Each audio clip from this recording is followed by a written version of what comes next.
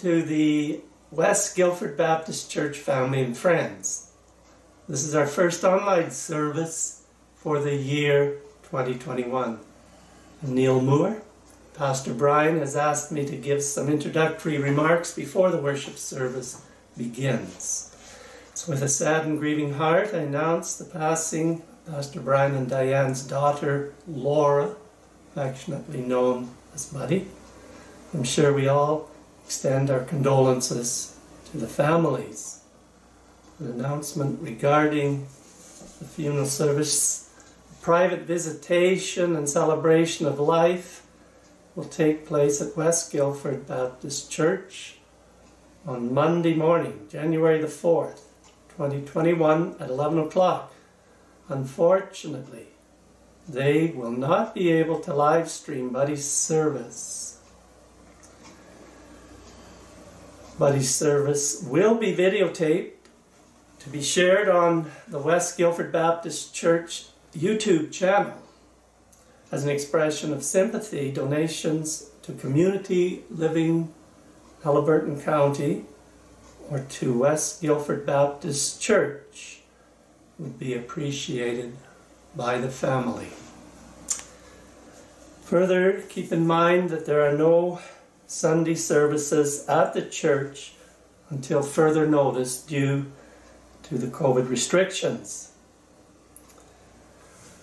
With regards to the sermon, we wish to thank uh, Pastor Paul Graham for providing sermon messages. He is the pastor at Lakeside Church in Haliburton.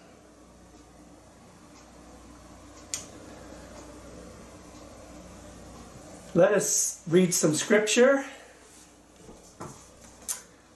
And these are the words of our Lord Jesus Christ, found in Luke chapter 18, verses 9 to 14. To some who were confident of their own righteousness and looked down on everybody else, Jesus told this parable. Two men went up to the temple to pray, one a Pharisee and the other a tax collector. The Pharisee stood up and prayed about himself. God, I thank you that I'm not like other men, robbers, evildoers, adulterers, or even like this tax collector. I fast twice a week and give a tenth of all I get. But the tax collector stood at a distance. He would not even look up to heaven, but beat his breast and said, God, have mercy on me, a sinner. I tell you that this man, rather than the other, went home justified before God.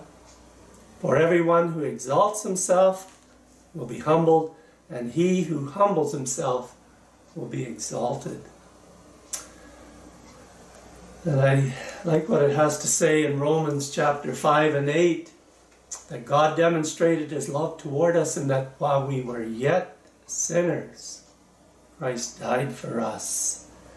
We must come as those acknowledging that we are sinners if we are going to have God's salvation. And Hebrews has something else to say, and it says, in Hebrews 11 and 6, without faith it is impossible to please God, because anyone who comes to him must believe that he exists and that he rewards those who earnestly seek him.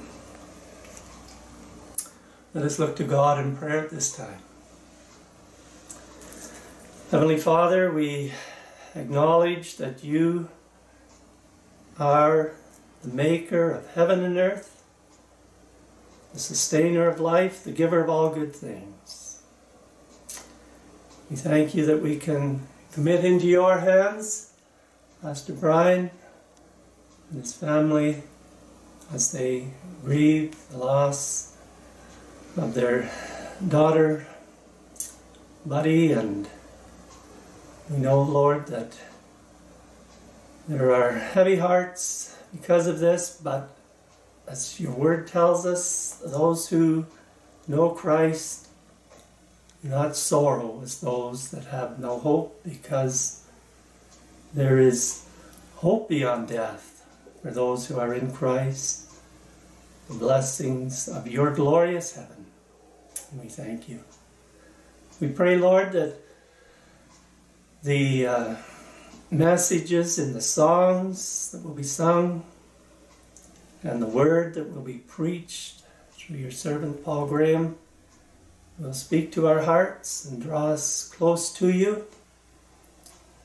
We just commit to you, Lord, each one who partakes. We ask that you will bless each family uh, listening into this service and that you will meet their heart's need. I'm sure we all would desire that COVID 19 would come to an end soon, but we do acknowledge that you are in control and that your purposes are being carried out. So keep us from fuming and frustrated and worrying about it, but trusting you rather.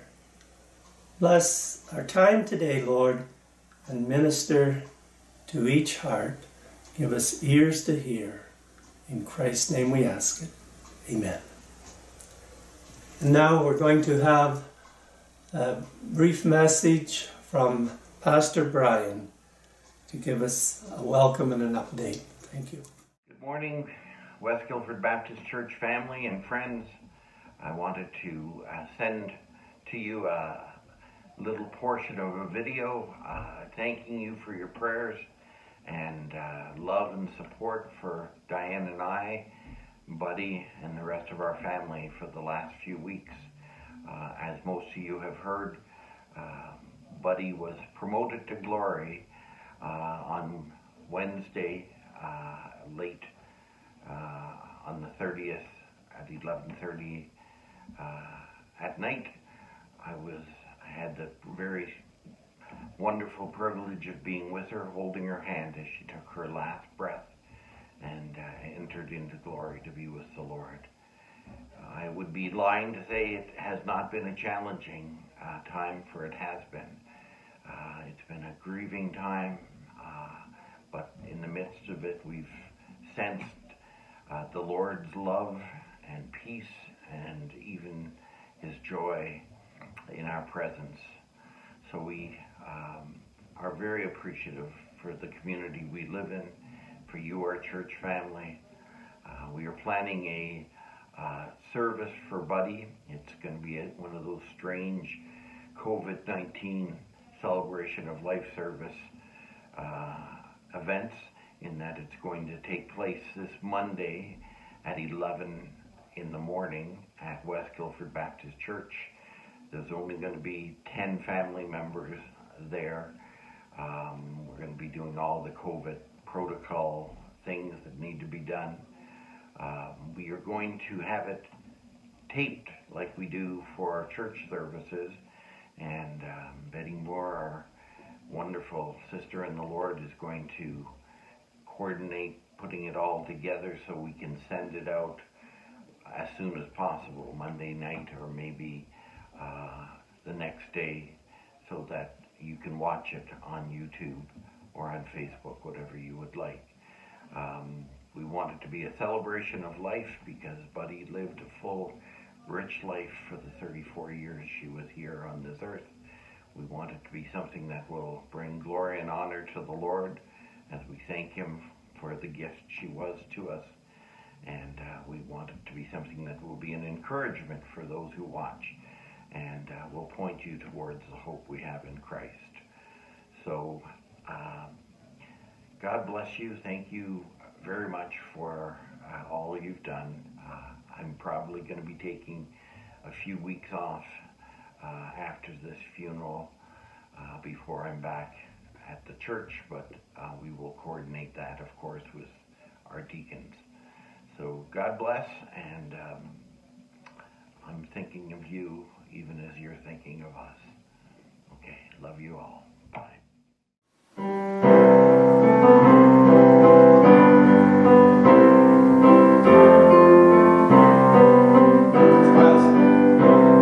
To God be the glory.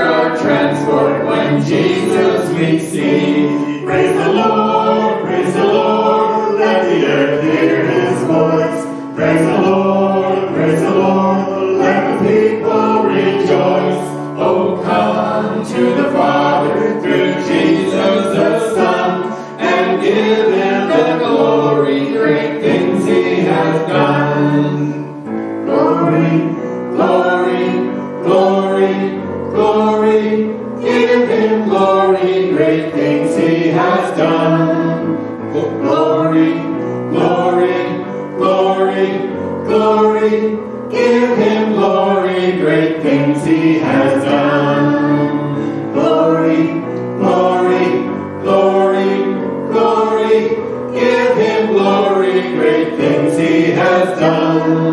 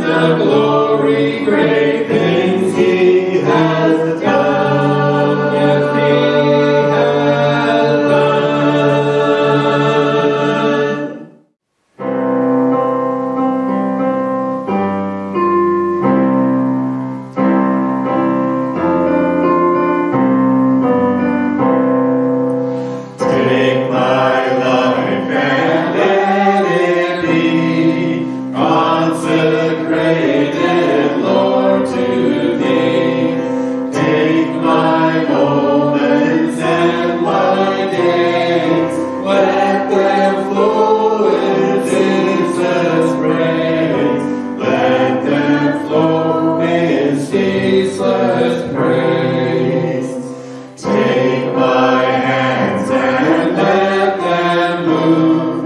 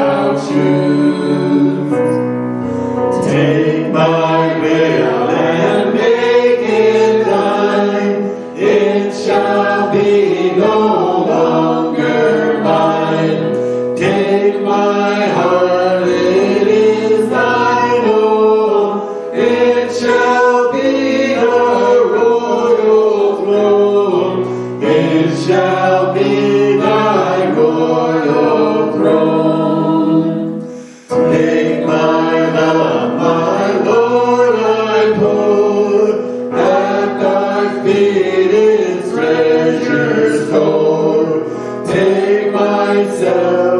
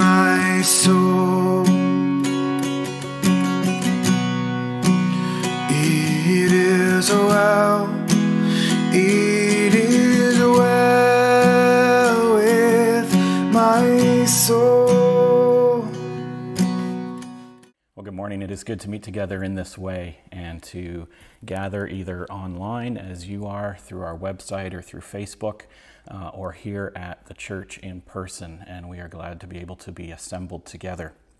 And this month, we are doing a little mini series on hope specifically. Of course, every message that we preach from the scripture is a message of hope. The Bible is relentlessly hopeful.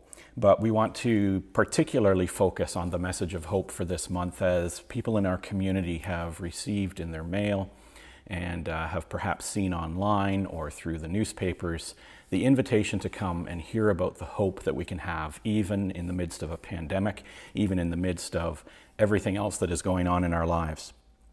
And there's four big areas of hope, even though we could, as I said, talk about hope every single week and do talk about hope every single week. But there are four areas in which people regularly seem to need to find hope uh, in their lives these days, and how God brings real hope to those areas. Uh, the first area is in our identity and who we are. The second area is in suffering and why we suffer. Thirdly, the area of addiction, or I will say idolatry, and we could put materialism, consumerism, all kinds of things that we become addicted to or capture our attention and enslave us. And then, fourthly, hope in relationship. So that's the four part series that we'll do through November hope in our identity, hope in the midst of suffering, hope in the midst of addiction or idolatry, hope in our relationships with others. I don't know if you're like me, but um, at some point in your life, you probably got hooked for at least a few episodes, maybe a few seasons on the Antique Roadshow. And really, what the Antique Roadshow boils down to is the anticipation of something that was lost or something that was overlooked in an attic, something that had sort of been encrusted, maybe somebody painted it or you know, an antique doll got sort of Walmart clothing put on it and it became hidden. And so the Antique Roadshow is a great example of a lost true identity something that has been dimmed by misuse or abuse or neglect or trying to be something that it isn't. Somebody, you know, uses a priceless vase as a doorstop, whatever. Its true identity is unknown or misplaced until it is recognized and recovered and brought to light by someone who knows its true worth and knows its value intimately. And when we think about our identity, there is a certain element in which we need to recover our true identity because our identity as human beings has been dimmed. It has been covered over by misuse and by abuse and by um, people using our identity in the wrong way or the world using our identity in the wrong way. And so, like that expert on the Antique Roadshow who discovers the true identity of that item, so we can look to Scripture and we can understand who it is that gives us our real identity and our true identity. And when we look at what's happening in the world today on this idea of identity, and really all through history, it's apparent that we have a serious identity problem as people. For centuries, humanity has sought to find its identity in various places, but all of those places have been rooted in creation, rooted in the horizontal relationship that we have with others, rather than finding their identity in the creator or the vertical. Identity was first and often rooted in the class that we are born into, and philosophers like Socrates talked a great deal about the condition or the class or the place that a certain person is born into and how they must live their life faithfully in that class. Or it's rooted in the virtue that we exhibit. Philosophers like Plato talked about the human virtues and that we are valued based on the virtue that we exhibit.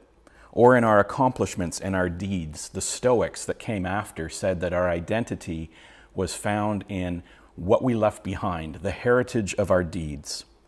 Or it could be in our wealth, or it could be in our profession, as any Mr. and Mrs. Smith or Mr. and Mrs. Miller could tell you. It could be in our race, in our gender, even in our religion or in our lack of religion. People have found their identity at the horizontal level in relation to others. But it's not just a philosophical problem out there when we talk about identity. It's not just an intellectual exercise to consider identity in our society and in our life. Identity is deeply personal in our own lives.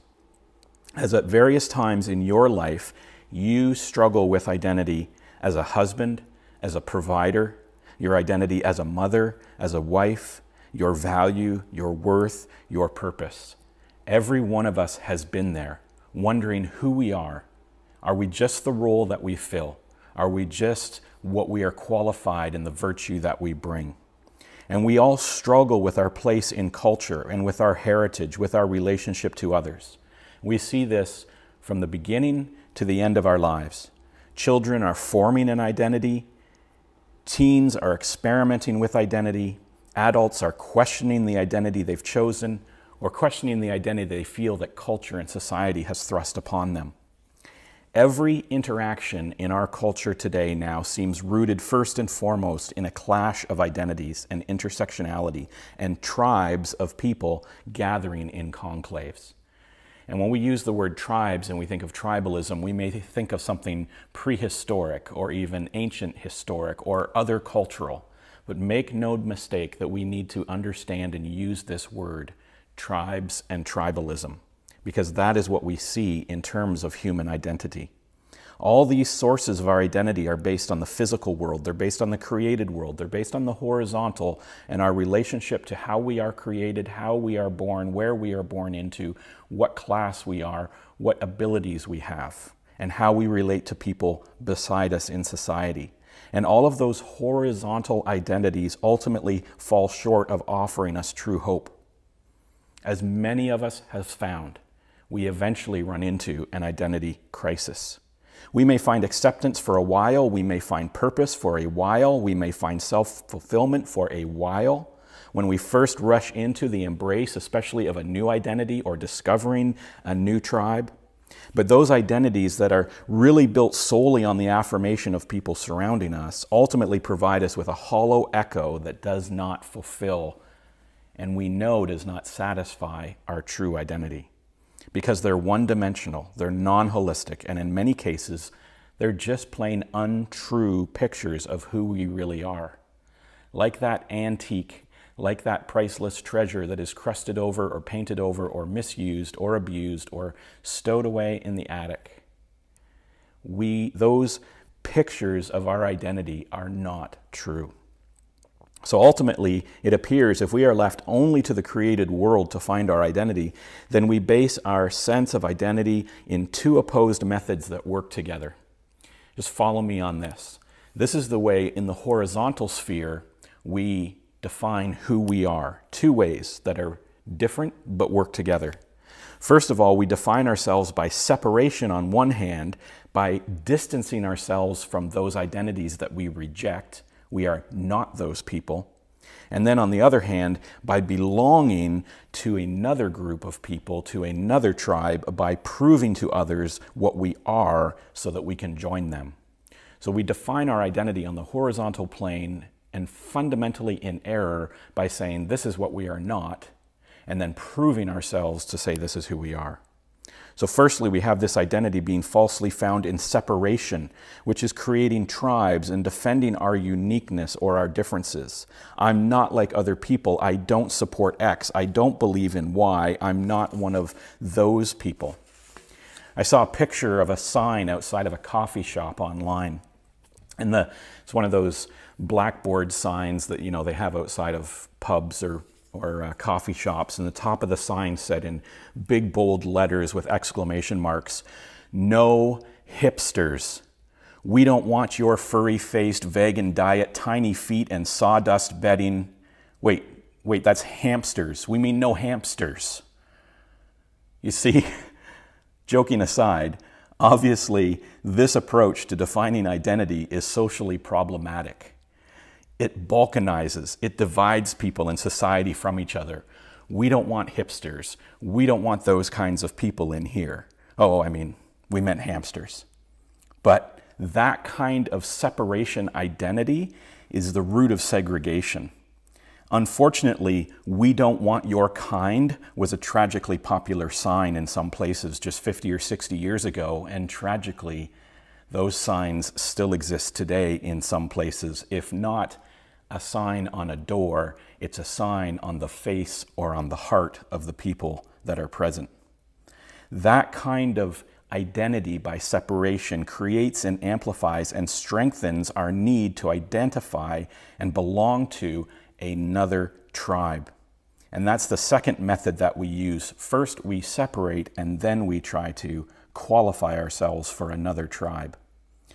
Secondly, it's identity based on being accepted into, the, into a tribe or into a group by your merit. Because make no mistake, human acceptance is not unconditional. You don't get accepted into the identity of tribe X, Y, or Z unless you qualify and merit your belonging. It's one thing to separate from everything else, but then what are we a part of? And that leads to our identity being found in merit. Are we man enough? Are we woman enough? Uh, are we tough enough? Are we intelligent enough? Are we gay enough? Are we liberal enough? Are we conservative enough? Are we black enough? Are we rich enough? Are we gangster enough? Are we hipster or hamster enough to really belong to our tribe? And make no mistake, you must qualify. I think it was in 2016 or 2017 at the Women's March in Washington, D.C., women's groups were actually banned from marching in the Women's March because they were not female enough. They did not believe enough in the female identity of the march organizers as women to participate in a woman's march. So make no mistake, you must qualify, you must merit belonging in a tribe. The more we want to identify with a tribe, then, the more we have to hyper exaggerate our qualifications to merit our badge of belonging. And we see this happening all around us on the news, on social media, in our friendships, in our own lives. We feel the pressure in our own hearts that we have to amplify our qualifications, whether it is as mothers or husbands, as providers, as wives, as whatever it is. Ask any teenage boy or girl if they face this identity pressure every single day to be pretty enough, to be jock enough, to be goth enough, to be metal enough, to be thin enough, to be emo enough, to be gamer enough in order to belong to your tribe. And it doesn't go away when we become adults.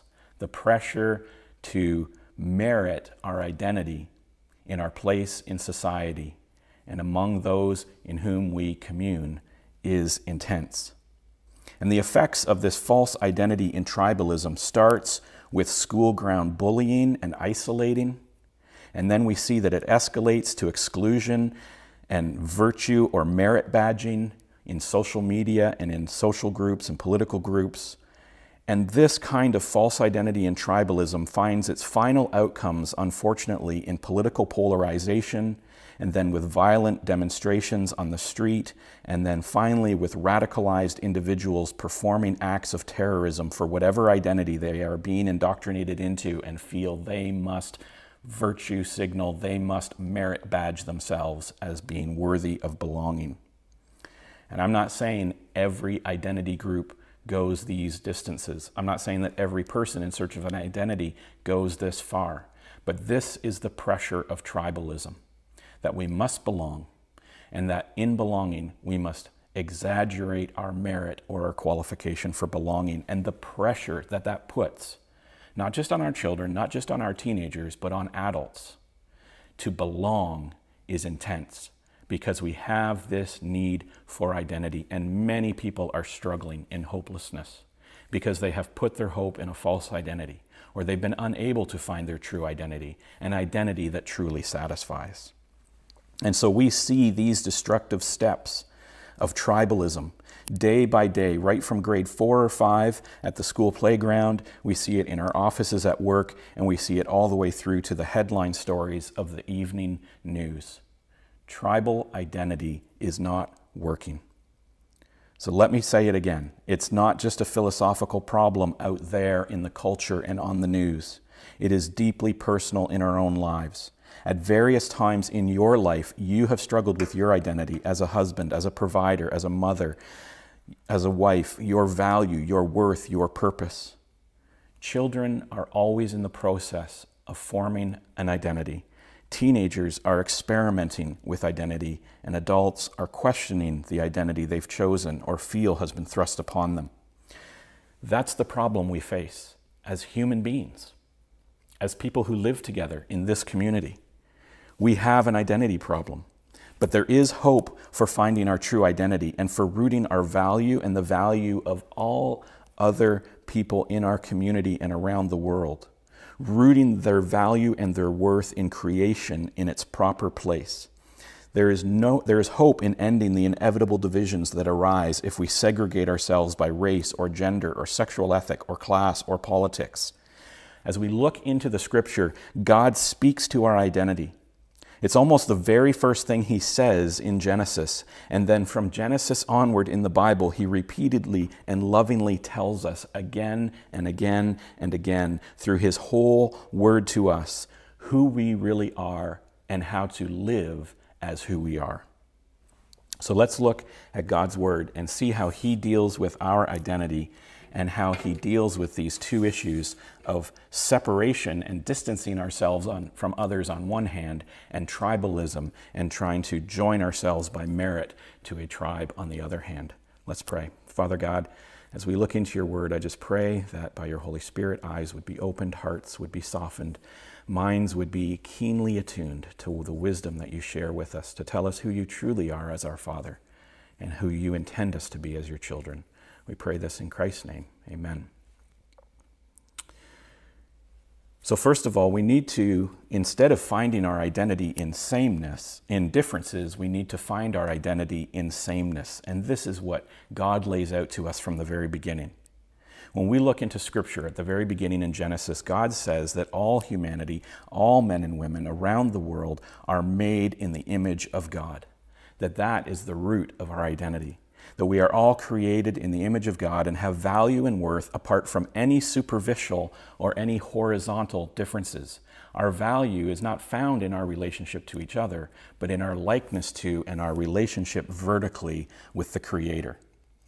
There's a word that's used in Christian uh, circles for this. It's called the Imago Dei, or the image of God. It is a reality for every human being on earth, and it imbues us with unique dignity and glory in creation. But the Imago Dei is something that's been distorted by sin. The fact that we are made in the image of God has been dimmed by these false horizontal identities. It's been glossed over even in the church at times. Our culture has gotten to the point where the fact that we are made in the image of God means nothing to people. Even in irreligious societies of the past, where church wasn't all that important, the understanding and the knowledge in Western culture, especially, that all humanity was made in the image of God permeated our laws, it permeated our politics, it permeated our human interactions.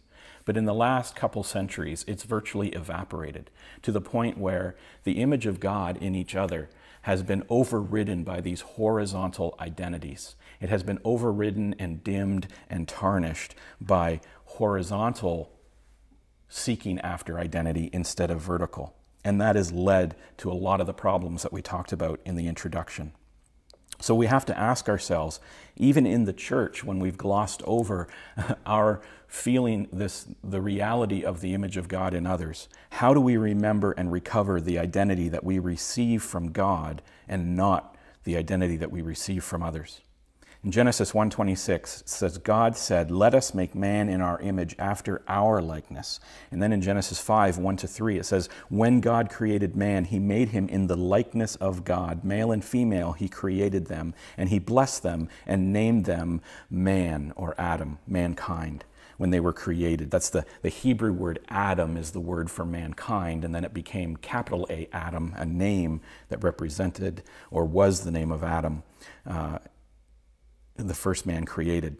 And it says, when Adam, the name Adam, had lived 130 years, he fathered a son in his own likeness after his image and named him Seth. And so we see here at the very beginning, Christians, listen to this. God made man in his image. And our children, as we recreate children in our image, are also in the image of God. And so, this likeness or this image bearing of God is something that we inherit vertically from our Creator. And we cannot forget this as Christians when we interact with each other and when we consider our own identity.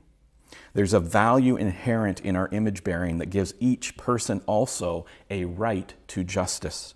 Genesis 9 6 says, Whoever sheds blood will have their blood shed because God made man in his image. And we're not going to go down, you know, all the stuff that the Old and the New Testament talks about social justice.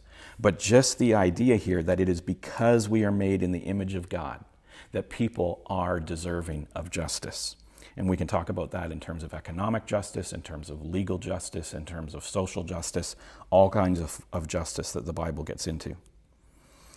Human worth is also connected not just to being made in the likeness of God, but connected to the love and care and compassion of God for us.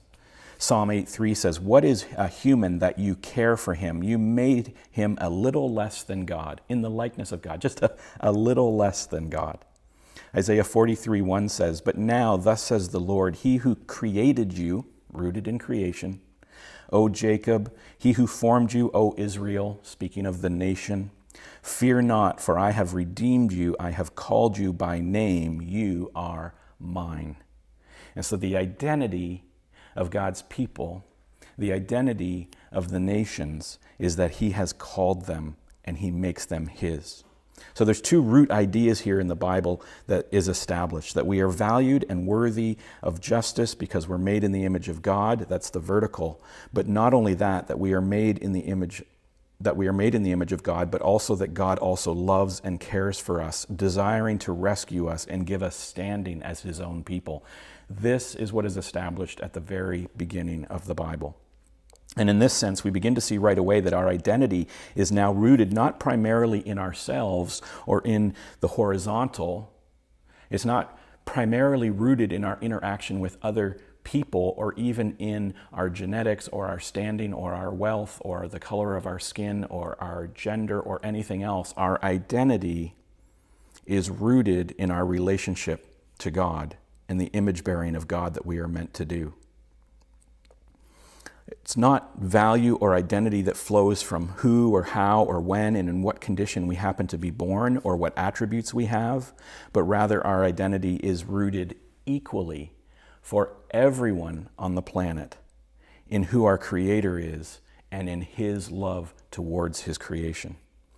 And we could follow that theme through all of the Old Testament, but let's move forward into the New Testament and see that God's love for us as a source for our identity is not by separation, but in unity through specifically his act of love to us in Jesus Christ. And this theme is so prevalent in the Bible, it's almost impossible just to pick one or two texts in the New Testament. The Gospels and the New Testament make direct statements about our identity in Christ over 70 times, and the theme of our identity in Christ and our unity in Christ is discussed well over 100 times just in the four Gospels and the 23 letters that we have in the New Testament.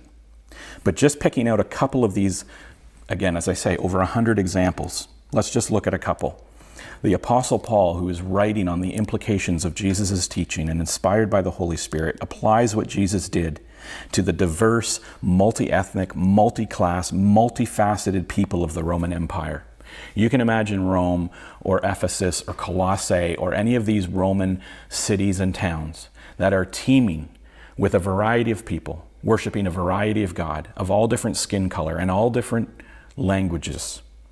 And Paul says to this teeming mass of different people, he says in Ephesians 2 13 and 14, But now in Christ Jesus, you who were once far off has been brought near by the blood of Christ.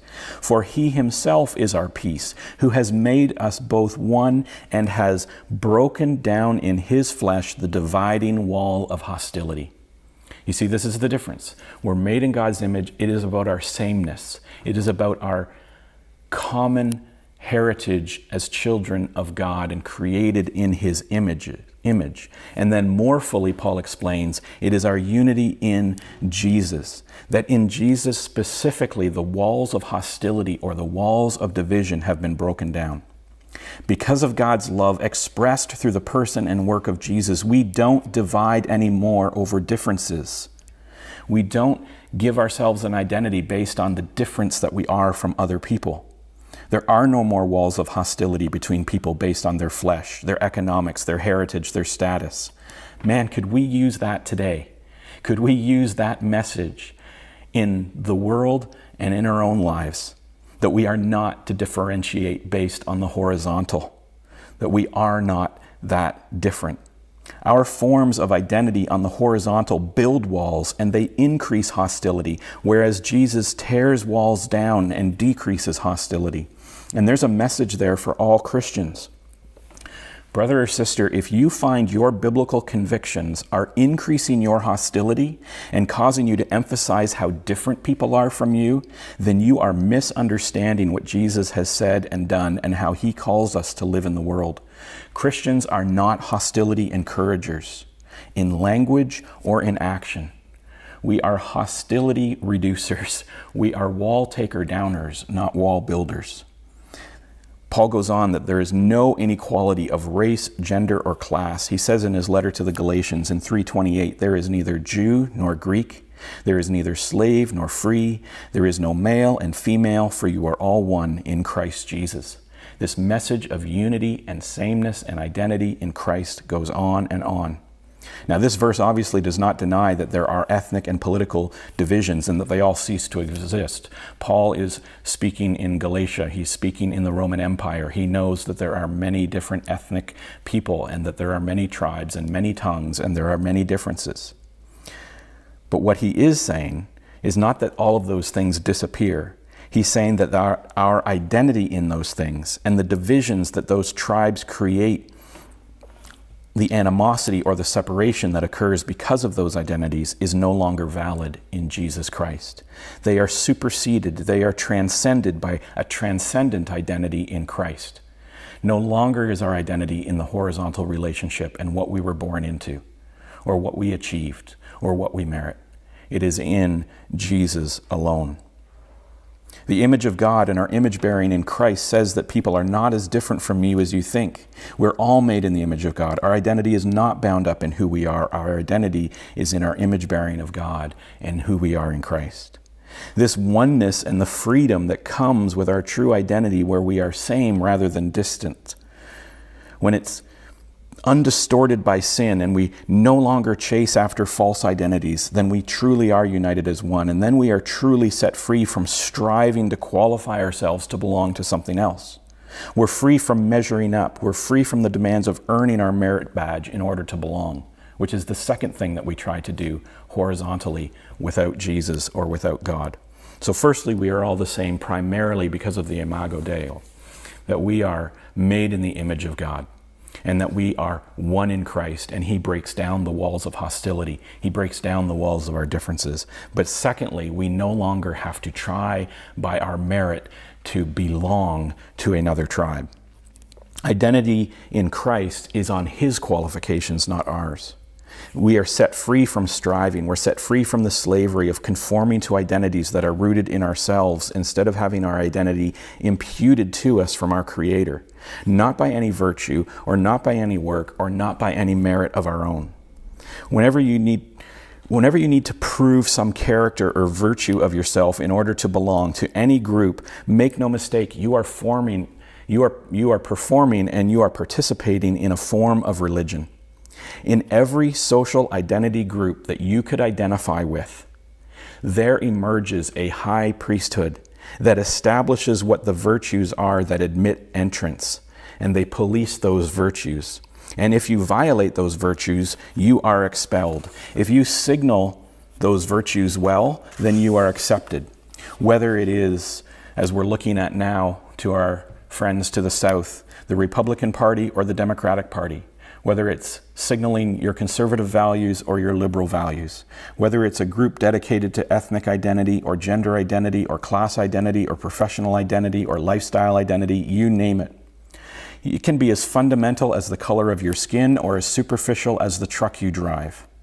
But the stronger the sense of identity is in that group, and the greater hope and value that people place in that identity, then the more strident and rigid the rules of acceptance become, and the more swift the expulsion of impurity manifests itself.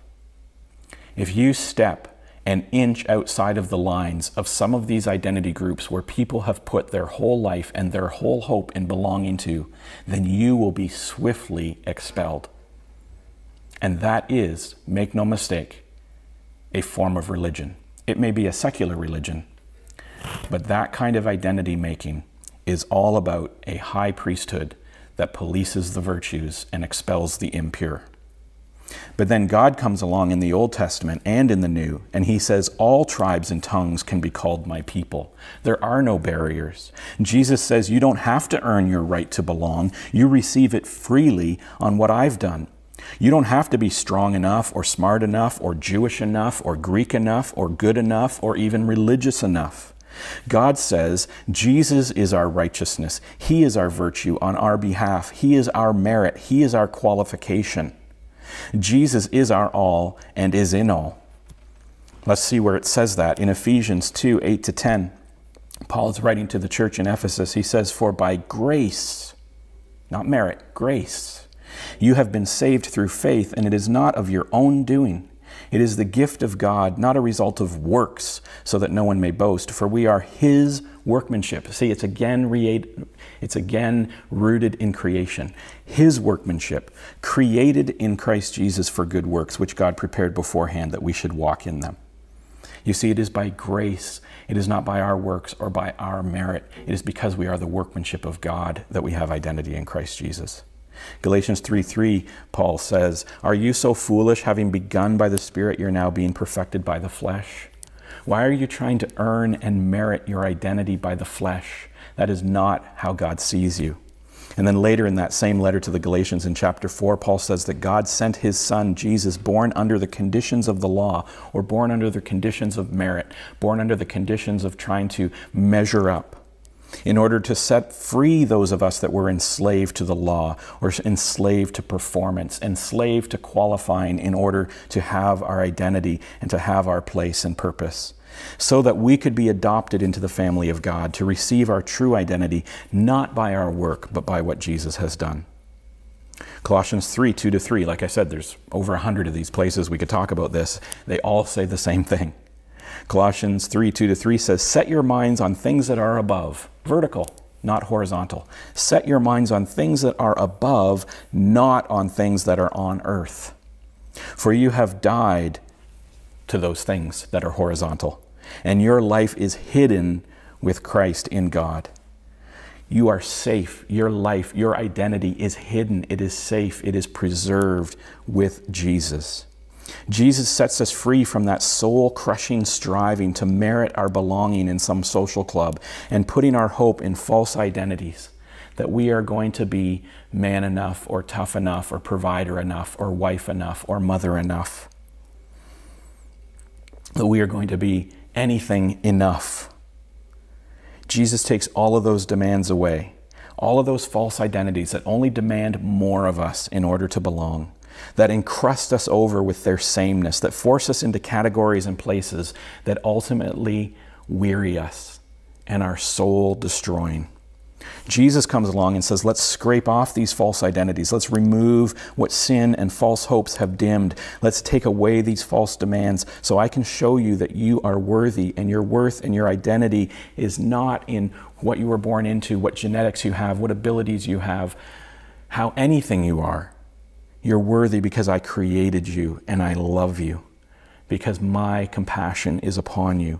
Let me rescue you from the attic or behind the door or wherever it is that you have been sort of hidden away, and let me stand you in the light of my love and affection. This is what it means. Every person is valued and finds their worth not in their class or virtue or race or gender or any other manufactured identity, but because they are made in the image of God and that by faith have equal right to being called children of God. So, how does this give you hope then as you look for your identity? And it could be an identity crisis of just the last few months. It could be the identity crisis of your whole life. I don't know. Maybe since you were a teenager in high school, you've struggled with who you are, or you've struggled with where to fit in. Maybe it's just been, you know, turning 40 and wondering, you know, what is my life and where do I fit and who am I and what is my value? Maybe you've lost some ability or you've lost some place in society and you are struggling to know who you are and what you're worth. How do you appropriate? How, appropriate? How do you recover? How do you receive this identity as an image bearer of God and as a child of God? Well, John 1 12 to 13 says this But to all who did receive him, that's Jesus, who believed in his name, he gave the right to become children of God, who were born not of blood, not about your genetics, nor of the will of the flesh. It's not about how hard you work, nor of the will of man. It's not the identity other people give you, but of God. To all who did receive him, who believed in his name, Jesus, he gave the right to become children of God, not because of anything horizontal, but because of the Creator God. God does allow us to choose. And as we see in the world today, many, too many, put their hope not in the Creator, but in the created and in themselves. And those who choose that way do not have their identity in Christ. They are not united in his life and death and resurrection. They do not enjoy the oneness with God and hope in a future united with Christ. God says this is available to everyone equally to know this hope, to receive this new identity. If you trust in what Jesus has done, He, if we will let go of our false identities, of our clinging to what is horizontal, if we will confess our rejection and our rebellion against our Creator and our stubborn refusal to find our identity in Him and our rejection of His love, if we turn away from the world and towards God, He will receive you. It says He gives you the right to become children of God just as He intended. He gives you the right to claim your true identity. You no, longer need to find your belonging in any tribe of this world because all tribes are one in Christ. He breaks down those walls of hostility. With faith in Christ, you are secure. You do not need to put up walls of defense and separate yourself from others, or wrestle with others for your identity, or fear that it will be consumed or overpowered by others, because you are secure in your identity in Jesus. You're set free from all these ultimately fleshly and self glorifying differences that we use to separate ourselves from others and to define our identity in isolation and separation. Those are all rightly brought to nothing so that we are set free from that constant struggle, and instead we rest our identity in Jesus where we're accepted on the basis of his, of his merit and not our merit. When we look at the news today, when we consider even our own lives, God and Jesus are calling us to rest and to cease striving. This is the hope that we have in the Bible. Ultimately, not so much in the Bible, not so much in the scriptures, although it is the Word of God. It is the hope that we have in the person and the work of Jesus Christ who is the manifestation, he's the appearance of the love of God. All of the love of God is made perfect in Christ Jesus. And Christ Jesus, the scriptures tell us again and again and again, has come to set us free, to break down the walls of hostility, and to free us from striving to qualify. He is our qualification. You can find your identity in Him. And this is a message for believers and unbelievers. The image of God that we are made in, even as believers, is often forgotten and tarnished and glossed over, and we need to recover it. And for those who are trying to find their identity newly in Christ, know that God loves you. That as you turn to Him, as you believe and trust in the work and the merit of Christ, He will receive you, and you are a new creation in Him. Your identity is secure, not to be threatened by any other identity on this world. Let's pray. Father God, we thank you for your word. And this was kind of a, a high level, kind of philosophical overview of the message of the Christian faith, of what you have told us it means, deep rooted inherently in our being, what it means that we are created by a God that loves us that we have an identity that is apart from anything anyone around us tries to put on us or what we grasp from the world around us. Our true identity is not in the color of our skin, it's not in the language we speak, it's not in the tribe we're born into, nor the tribe that we attach ourselves to. Our true identity is meant to be found in you. And for all those, Christian or otherwise, who are struggling in finding hope in who they are, Father, help us to recover our true identity. Help us by your Holy Spirit to turn towards you, to turn towards your Son, Jesus, and to put our hope in who we are in Him. I pray that anyone who does not understand this or who needs this hope would reach out to someone that they know, someone they know who has this hope within them, and that they can begin this journey back towards their true identity in you. We pray this in Jesus' name. Amen.